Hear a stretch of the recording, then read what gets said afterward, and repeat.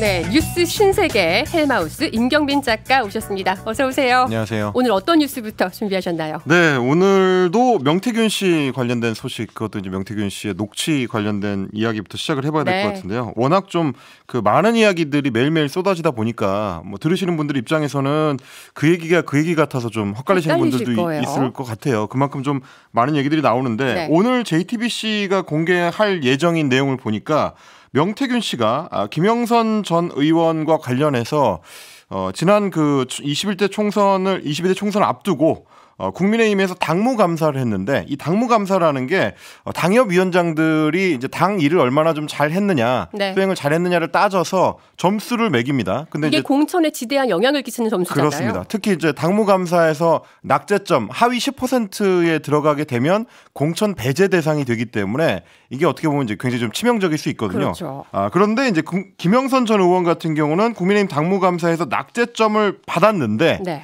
여기에 대해서도 본인이 해결할 수 있다라는 식의 이제 이야기를 했다는 겁니다. 강혜경 네. 씨랑 통화를 할 때 어, 연사 여사한테서 여사한테 내가 연락을 했다. 여사가 아마 도와줄 것이다. 이런 식으로 얘기를 했다는 겁니다. 음. 어, 2023년 11월 13일 지난해 11월 13일인데요. 네. 국민의힘 당무감사에서 김영선이 꼴등을 했다라고 이야기를 한 뒤에 내가 여사한테 그래서 연락을 했다. 김영선이한테도 여사한테 연락하라고 내가 해놨으니까 라고 이야기를 하면서 네. 어, 이 상황에 대해서 본인이 컨트롤하고 좀 정리할 수 있다. 뭐 이런 취지의 이야기를 했다는 겁니다. 뭐 아시다시피 이제 2022년 재보궐선거 공천 당시에도 김건희 여사가 어 뭐 김영선 전 의원의 공천을 선물로 챙겨준 거다라는 얘기를 강혜경 씨한테 하는 녹취가 어제 공개가 됐었는데 22대 총선을 앞두고도 김건희 여사의 도움을 받아서 어, 당무감사 낙제점이라는 이 최악의 어떤 위기 상황을 이제 돌파하려고 했었던 정황 이런 것들이 이번에 또 확인이 된 겁니다. 네. 그래서 그 뒤에도 보면 어, JTBC가 나중에 김건희 여사와 명태균 씨 사이에 주고받았던 텔레그램 메시지를 확인해 봤었는데 아홉 차례 정도 텔레그램 메시지를 주고받았는데 그 내용이 보니까 김해 갑 지역으로 지역구를 옮기고 그러면 김영선 전 의원한테 단수 공천을 달라. 라는 취지의 대화가 오갔다. 뭐 이런 정황들까지 맞춰보면 지난해 연말부터 올해 총선 시기까지 계속해서 명태균 씨가 아, 김건희 여사를 통해서 김영선 전 의원의 공천을 좀 챙겨 받으려고 했던 거 아니냐. 뭐 이런 의혹이 이제 짙어질 수밖에 없을 것 네. 같습니다. 강혜경 씨가 처음 명태균 씨 폭로했을 때부터 지금까지 나오는 내용들이 너무 많아서 사실 네. 청취자분들은 헷갈릴 수밖에 없는데 네, 네. 그 과거에 공개됐던 텔레그램 메시지 내용과 네. 지금 공개된 이 녹취록 속의 내용을 보면은 맞아 떨어지는 정황이 나오는 거네요. 그렇습니다. 지금 이제 공개된 녹취를 전반적으로 한번 종합을 해보면 2022년 5월 10일에 보궐선거 국회의원 보궐선거 관련된 이제 공천 내용 발표가 되는데 그 시기쯤부터 22대 총선이 치러지는 올해 3월까지가 하나의 연결된 시간선으로 봐야 될 것 같습니다. 네. 어제 공개됐었던 뭐 새로운 녹취에서는 무슨 내용이 있었냐면 어, 5월 2일 2022년 5월 2일인데요. 공천이 발표되기 8일 전에 네. 이미 이제 김영선 전 의원이나 명태균 씨가 공천 여부를 알고 있었다. 라는 사실이 이제 관계, 공개가 된 겁니다. 네. 강혜경 씨 쪽에 이제 명태균 씨가 이제 전화를 해가지고 통화를 하면서 뭐라고 했냐면 여사님 전화 왔는데 내 고마움 때문에 그러니까 나에 대한 고마움 때문에 김영선 공천 걱정하지 말라고 내보고 고맙다고 음. 어 자기 선물이래라고 어 김영 아 저 김건희 여사가 이야기를 했다는 겁니다. 그러니까 그러면서 공- 명태균 씨는 네. 결국 내가 김건희 여사한테 선물이라고 김영선 공천을 받아온 받았어라고. 자랑하는 이 녹취가 그렇습니다. 실제 공천 발표보다 8일 전에 나온 8일 말이라는. 거죠. 그리고 이제 입조심해야 된다든지 뭐 이게 알려지면 난리가 나고 뒤집어진다 이런 취지의 발언도 합니다. 그리고 어 제 이제 함께 공개된 녹취를 보면 하루 전날에도 김영선 의- 전 의원하고 강혜경 씨가 통화한 내용이 나오는데 거기에서 도 어, 김영선 전 의원이 이제 보안을 굉장히 좀 강조를 하면서 어, 이 공천이 확정된 사실을 알고 있다. 근데 이제 어, 당일날에도 뒤집어질 수 있는 게 공천이기 때문에 입조심을 해야 된다. 어, 명태균 씨는 왜 자꾸 그렇게 이야기를 하고 다니느냐. 뭐 이런 취지의 이제 대화를 주고받는 그 내용들까지 공개가 됐으니까요. 네. 2022년 보궐선거 때도 어, 김영선 전 의원의 공천을 어, 김건희 여사가 명태균 씨를 통해서 챙겨줬고 그리고 올해 총선에서도 김영선 전 의원의 공천을 좀 받아내기 위해서 명태균 씨가 김건희 여사한테 굉장히 좀 여러 어, 작업을 했다 혹은 이제 통화를 해서 이제 부탁을 했다 이런 정황들이 좀 확인이 되고 있는 겁니다. 네. 당무감사 낙제점을 받았더니 내가 한번 얘기해 볼게. 내가 한번 나서 볼게. 이런 자신감 있는 말이 나올 수 있는 근원은 계속 연락을 해왔기 때문이다라고 볼 수도 있겠네요. 그렇습니다. 뭐 실제로 텔레그램 메시지가 기자들을 통해서 이제 확인이 됐고 그 통화 내용을 보더라도 어 아무런 맥락이나 연결 관계가 없는데 이야기하기는 좀 어려운 것들이 좀 이제 담겨 있다 보니까 뭐 어떻게 그럴 수밖에 없을 것 같은데 네. 어, 문제는 이게 이제 단순히 명태균 씨 허풍으로 이제 그칠 수 있는 문제냐 하는 부분입니다. 왜냐하면 얼마 전에는 2022년에 이제 지방선거 당시에 강원도지사 경선에서 컷오프가 됐었던 김진태 현 강원도지사가 네. 어, 소위 이제 부활을 하는 과정에서 그래서 경선으로 이제 다시 이제 이 올라가는 과정에서도 명태균 씨와 김건희 여사의 입김이 작용한 것 같다라는 이제 취지의 보도가 나왔었거든요. 네. 그러니까 컷오프된 사람을 다시 살려낼 수 있다면 어, 이 하위 10%에 들어서 낙제를 받은 사람도 다시 살려낼 수 있다라고 명태균 씨가 생각했을 가능성은 있는 거죠. 음, 뭐 네. 그런 부분들을 좀 돌아봐야 될 것 같은데 어쨌든 이런 논란들에 대해서 전반적으로 여권에서는 어, 단호하게 좀 일축하는 모습입니다. 오늘도 사실 무근이고 어, 명태균 씨 일방적인 주장일 뿐이다. 이렇게 지금 답변을 하고 있는 상황입니다. 네. 자, 지금 어제 오늘 계속해서 명태균 씨 관련 녹취가 여러 가지가 나오고 있는데 네. 또 다른 녹취도 지금 가져오셨죠? 네, 그렇습니다. 뭐, 이, 이, 이거는 이제 녹취 내용도 중요하지만, 어, 창원에 있는 이제 국가산업단지 제2산단을 조성하는 과정에서 네. 명태균 씨가 굉장히 중요한 역할을 했었다라는 거를 입증하는 녹취이기 때문에 음, 네. 어, 이게 이제 오늘 한겨레 21 보도를 통해서 이제 제기가 된 겁니다. 2022년 11월 23일에 통화 녹음 파일인데 어, 이날은 무슨 날이냐면 국토교통부의 실사단 그러니까 여러 이제 어, 산 산업단지 그 부지 예정지나 혹은 뭐 후보지들을 돌아보고 실사를 하는 국토교통부 실사단이 창원 지역을 방문하는 날이었습니다. 네. 그래서 이제 창원시에서 밀고 있는 창원 국가산단의 부지 심사를 하러 오는 날인데 이날 어, 명태균 씨의 행보를 봤을 때 사실상 아, 창원 시와 행보를 같이 하거나 혹은 이 과정을 주도하는 듯한 모습 들을 녹취를 통해서 확인할 수 있다는 겁니다. 네. 오후 7시 41분에 명태균 씨가 강혜경 씨한테 전화를 걸었는데 창원 국가산단 관련 보고서 작성을 지시를 합니다. 이때는 이제 강혜경 씨가 어 이 김영선 의원실에서 이제 근무하고 있었던 보좌진이었었는데 네. 어 전화를 걸어가지고 윤석열 사진을 위로 올려서 그 크기로 국가 산단이 필요합니다라는 문구를 넣어야 된다라고 이제 강조를 합니다. 그러니까 네. 어뭐 파일에서 이제 문서를 어떻게 작성해야 된다, 뭐 사진을 어디에 위치시켜야 되고 문구는 뭘 넣어야 된다 이런 것까지 세세하게 지시를 하는 거죠. 이거는 어, 부탁하는 거거든. 어, 사모한테라고 하는 언급도 나옵니다. 어. 그러니까 이게 어, 국가 산단 부지 심사를 하러 온 사람들한테 제공할 국토교통부 쪽에 제공할 자료가 아니고 어, 김건희 여사한테 줘서 부탁을 할 자료다라고 이제 분명하게 한 거고요. 그래서 이제 강혜경 씨가 밤이 늦었기 때문에 지금 다 퇴근하는 바람에 작업이 어렵다라고 이야기를 했더니 내일 오전에라도 해서 해, 어, 내일 오전에라도 해도 돼. 좀 며칠 있다가 보내도 되거든 이라고 이야기를 합니다. 그거는 어, 국토교통부 실사단한테 줄 거라면 이제 가능하면 빨리 줘야 될 텐데 어, 김건희 여사한테 보내는 게 보고하는 게 목적이기 때문에 조금 시간을 둬도 된다라는 취지로 발언을 한 걸로 보입니다. 당시 강혜경 씨는 김영선 전 의원실에 있던 보좌진이었는데 그렇습니다. 명태균 씨는 당시 아무런 직함이 없지 않았습니까? 그 공식 직함은 없는 거고요. 뭐 이제 보도된 바에 따르면 의원실에는 존재하지 않는 별도의 직함. 총괄 본부장이라는 명함을 파서 어, 주위에 이제 그 뿌리고 보도가 네, 김영선 전. 의원이 계속 명본부장, 명본부장 하는 녹취가 계속 나오더라고요. 그렇습니다. 근데 이제 뭐 아시다시피 어, 국회의원실에는 본부장이라는 그 공식 직함이 없고요. 없죠. 어, 굳이 따지자면 그 명함 자체는 일종의 이제 사칭이라고도 볼 수 있는데 그게 이제 의원실 내에서 용인이 됐기 때문에 가능한 그래서 창원시 공무원들 같은 경우도 그 명함을 보고 이 사람이 의원실에서 일하는 본부장으로 알았다라는 음. 얘기도 있었습니다.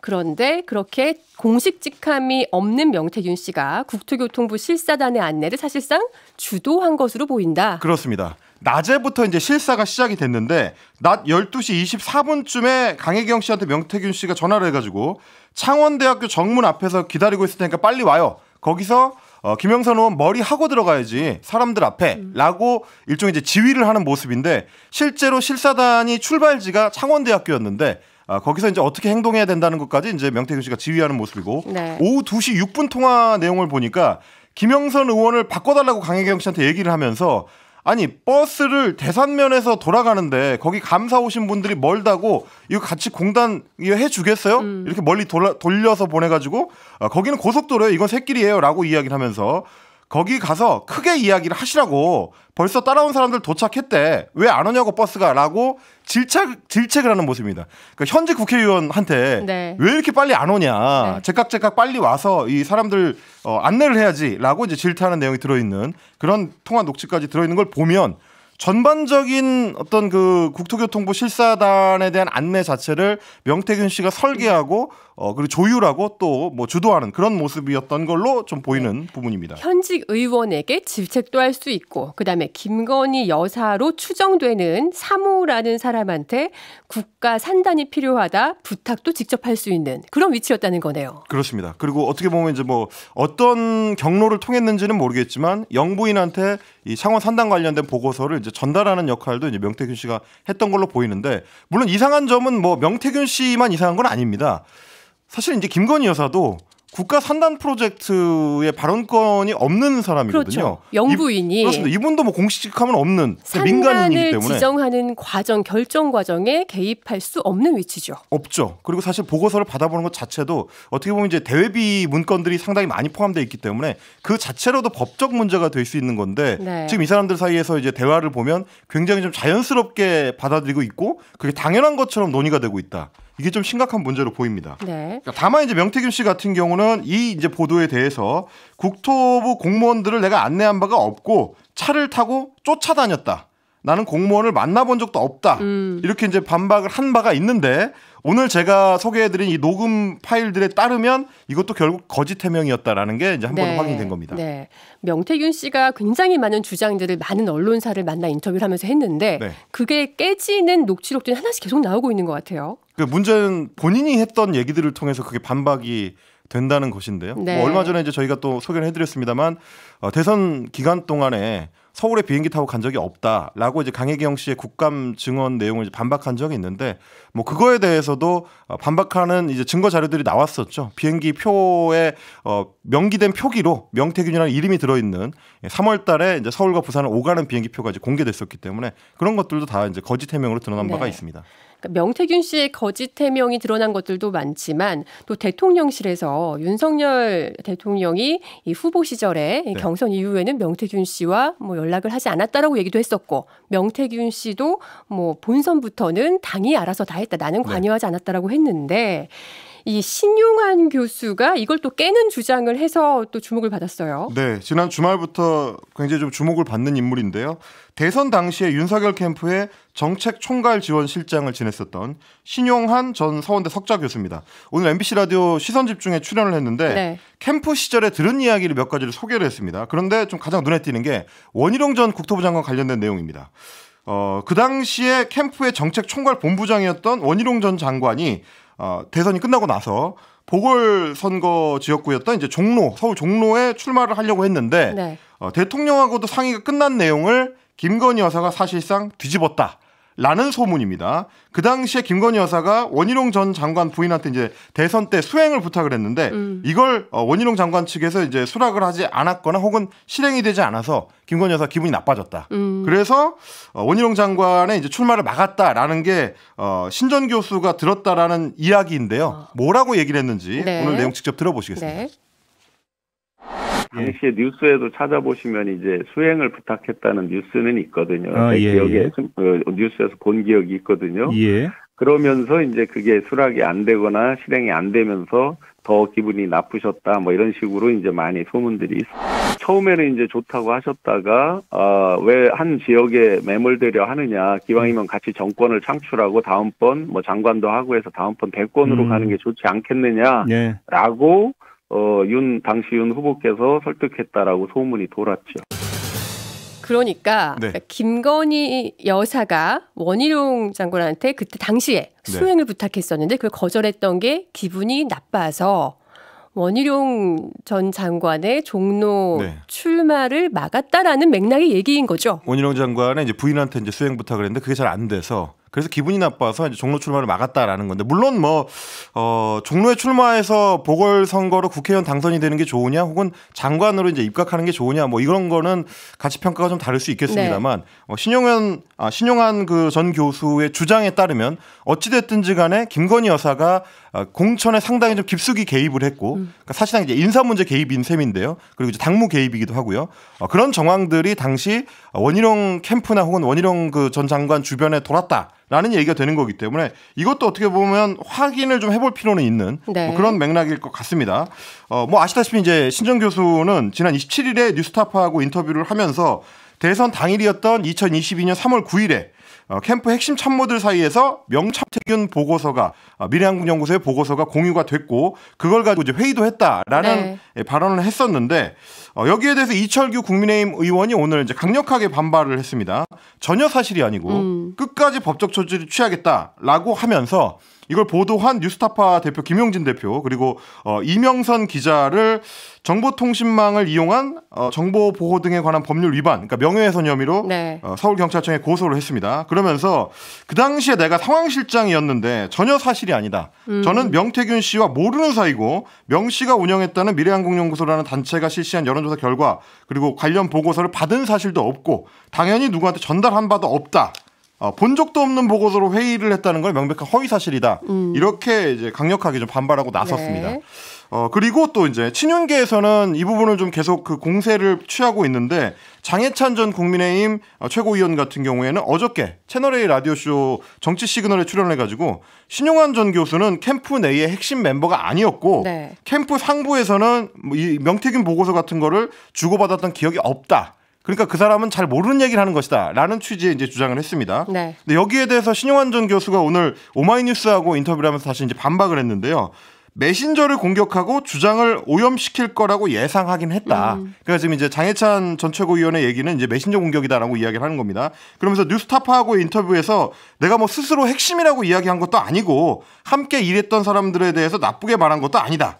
다만 윤석열 캠프에서도 여러 개의 보고서가 올라왔었고 실무 책임자 회의체에서는 나랑 뭐 박민식 전 보훈부 장관이랑 어, 김호진 전 국토교통부 제1차관 어, 지금 이제 어, 항공공사의 이제 사장 후보로 가 있는 분이죠. 네. 어, 그리고 이제 김은혜 전 의원, 아 김은혜 국민의힘 의원 이런 분들하고 같이 매일 회의를 했었다. 음. 여러 보고서를 놓고 있기 때문에 그 중에 포함되어 있을 수 있다라는 취지의 이야기고요.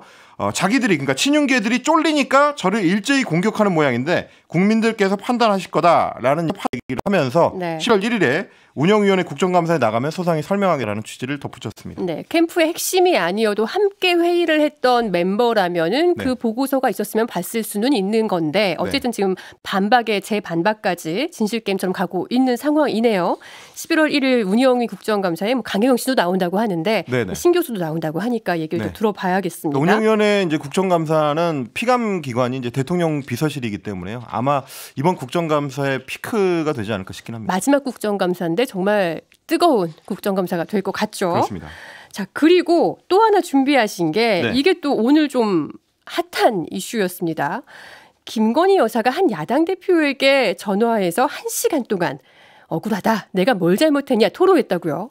장성철 공론센터 소장이 오늘 CBS 라디오 김현정의 뉴스쇼에서 이야기한 내용인데요. 네. 뭐 말씀하신 그대로입니다. 한 야당 대표한테 김건희 여사가 전화를 걸어가지고 한 시간 동안 토로를 했다. 억울하다. 내가 뭘 잘못했느냐. 너무하는 것 아니냐. 라는 취지의 이야기를 했다는 건데 물론 뭐 어, 그 야당 대표가 누군지 정확하게 밝히지는 않았습니다만. 네, 지금 원내에 일곱 명의 야당 대표가 있잖아요. 네, 근데 좁혀 보면 뭘테면 이제 이재명 민주당 대표나 조국 혁신당의 조국 대표일 가능성은 매우 낮을 것 같고요. 네. 김재현 진보당 대표, 용해인 기본소득당 대표, 한창민 사회민주당 대표도 그런 얘기를 한 시간 동안 들어줄 것 네. 같진 않고 좁혀 보자면 허은하 개혁신당 대표가 아니냐. 네, 임경빈 작가 계속해서 이야기 어, 예, 해보겠습니다. 어, 문제 그 야당 대표가 누구냐라는 이야기를 나누던 참이었는데 허은하 대표일 것 같다까지 얘기 나오고 광고 나갔죠. 좁혀 보면 그럴 것 같다는 거죠. 네. 이제 뭐 사실 장 소장도 뭐 정확하게 누구다라고 이야기는 안 했고 허은하 대표도 아직까지 입장을 밝히지 않고 있다면서요. 예, 통화 사실을 뭐 시사저널 쪽에는 이제 부인을 했다고 하는데 네.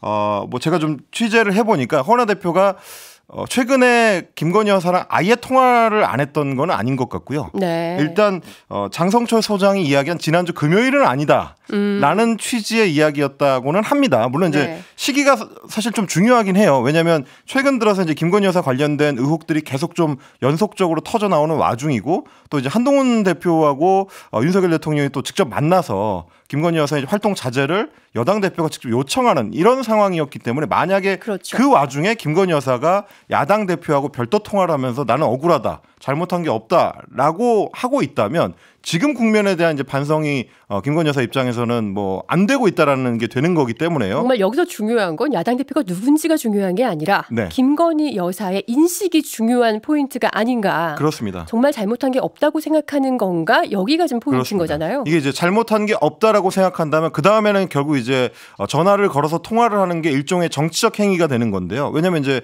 어, 어, 조만간 11월 14일로 지금 민주당이 예정하고 있는 데 김건희 여사 특검법에 대한 어, 의결이 또 이루어질 거기 때문에 그거에 앞서서 어, 그나마 조금 설득을 해볼 수 있는 야당 대표 쪽에 접촉을 해서 뭐 특검법 관련된 이야기를 좀 발전시켜 보려고 했던 건 아니냐라는 추정도 해볼 수가 있는 거기 때문에 왜, 네. 왜냐하면 이제 아무런 이유 없이 정치인한테 직접 전화를 걸어가지고 이런 얘기를 토로할 리는 없기 때문에 친구는 아니지 않습니까? 그런 거를 맥락을 짚어보자면 이 통화 내용이 어, 누구를 향한 것이었는가를 저희가 이제 이렇게 이야기하는 것도 단순히 그냥 가십으로 소비하자는 차원의 문제가 아니라 정치적으로도 굉장히 중요한 맥락을 품고 있는 것이다. 이런 네. 설명을 좀 드린 겁니다. 자, 말 나온 김에 김건희 여사 특검법 얘기도 해볼까요? 민주 당이 지금 뭐 총공세를 하고 있죠. 그렇습니다. 여러 방면으로 지금 그 공격의 가지를 뻗치고 있는데요. 최근에 좀 민주당에서 힘을 주고 있는 것은 상설 특검 관련된 부분입니다. 네. 상설 특검 추진을 본격화하겠다라고 하고 나서 어, 국회 운영위원회에서 그 국회 규칙 개정을 지금 시도를 하고 있습니다. 네. 오늘 운영 개선 소위원회를 열고 야당 단독으로 상선 특검 관련된 국회 규칙 개정안을 통과를 시켰습니다. 이거는 어제 어제 통과. 아, 어제 예. 여러 번 좀 그 민주당 쪽에서 예고를 해왔었던 내용인데 대통령이나 대통령 친인척이 수사 대상이 되는 사건에 대해서는 상설특검 후보 추천위원회를 구성을 할 때 대통령 소속 정당 그러니까 이제 여당이나 여당이었던 정당의 추천권을 주지 않는다라는 음. 내용으로 이제 바꾸는 겁니다. 네. 이렇게 되면 국민의힘은 상설특검 어, 김건희 여사에 대한 수사의 경우에는 상설특검 추천권을 갖지 못하게 되는 거고요. 어, 의석수가 많은 비교섭단체 두 곳이 각각 한 명씩 추천을 하는 방식이 됩니다. 네. 그럴 경우에는 이제 조국혁신당이 일단 한 명 추천권을 가져가고 그리고 지금 이제 진보당하고 개혁신당이 의석수가 세석으로 이제 같은데 이 경우에는 선수가 높은 비교섭단체가 추천하도록 해서 그러면 진보당이 이제 한 명을 추천하게 돼서 그래서 총 4명의 후보를 민주당 2명, 조국혁신당 1명, 진보당 1명 이렇게 네. 추천하게 되, 됩니다. 근데 이제 문제는 상설 특검 같은 경우는 규모가 좀 작고 그리고 이제 운영할 수 있는 기간이 좀 짧은 데 비해서 대통령이 이미 성립이 되어 있는 법안이기 때문에 거부권을 행사할 수 없다는 점이 좀 강점입니다. 야당 입장에서 봤을 때. 그래서 김건희 여사 특검법이 계속 제2요구권에 번번이 부딪히니 네. 상설특검 카드를 갖고 나온 거잖아요. 그렇습니다. 그 지금은 이제 어, 김건희 여사와 관련된 그 혐의점을 민주당을 포함한 야당에서 10가지 이상을 특검법에 포함을 시키고 있는데 13가지가 들어가 있죠. 그렇습니다. 이게 이제 통과가 안 되다 보니까 그럴 것 같으면 상설 특검을 여러 개로 쪼개서 우선 그 수사를 할 수 있도록 하는 방안을 만들어 보자라는 겁니다. 네. 그래서 지금 상설 특검을 추진하고 있는 사안들이 인천 세관 마약 수사 외압 의혹 사건 여기도 이제 김건희 여사 입김이 미친 것 아니냐라는 의혹이 좀 들어 있고요. 그리고 삼부 토건 주가 조작 의혹 사건은 김건희 여사가 당사자입니다. 그리고 제22대 국회 청문회 등에서의 증언 감정 등에 관한 법률 위반 사건들 이것도 역시 마찬가지로 김건희 여사 관련된 사안들을 몇 가지 좀 묶어 놓은 것들인데 네. 이렇게 쪼개면 상설 특검으로도 어, 느 정도 수사가 가능하겠지 않겠느냐라는 게 지금 민주당의 주장입니다. 네, 상설 특검은 대통령이 제2요구권을 행사할 수 없다. 이 점에 착안한 자 여기까지 쓰겠습니다. 임경미 작가 수고하셨습니다. 야.